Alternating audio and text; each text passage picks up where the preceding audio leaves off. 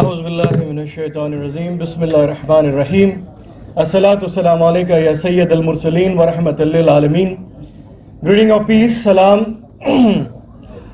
I extend our congratulations to Iran Culture House and Islamic Center for really touching up this very sensitive and very important issue of desecration of the holy text, Quran Sharif. And the topic is about the light of Quran Sharif upholding the values of all spiritual scriptures around the world. Coming from Ajmer Sharif, the message of Khaja Gharib Nawaz is very clear. Without taking much time, I would conclude that the world is witnessing resurgence of the ideologies which the 1400 years back Hazrat Imam Hussain has denounced the Yazidi fikr.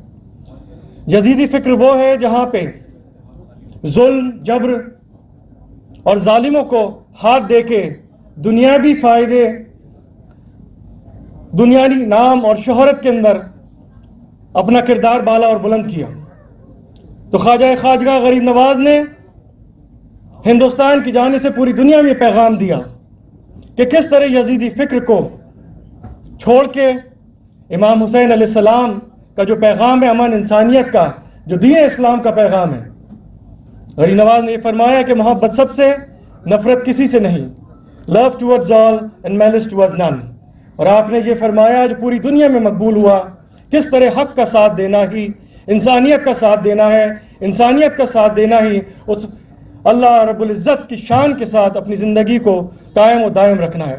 غریب نواز نے فرمایا، شاہ است حسین، بادشاہ است حسین۔ دین است حسین، دین پناہ است حسین۔ سرداد نہ داد دستے در یزید حقا کے بنا لا الہ است حسین یا حسین۔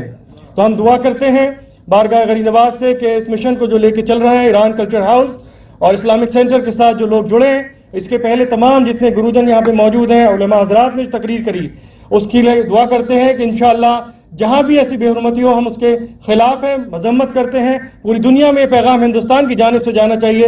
ہندوستان کی حکومت کو اور منسٹری آف فارن افیئرس کو بھی اس کا سنگیان لینا چاہیے اکنالج کرنا چاہیے کہ ایک ڈپلومیٹک طریقے سے ہندوستان کے مسلمانوں کی طرف سے یہ پیغام جائے، ہندوستان کے عوام کی طرف سے پیغام جائے۔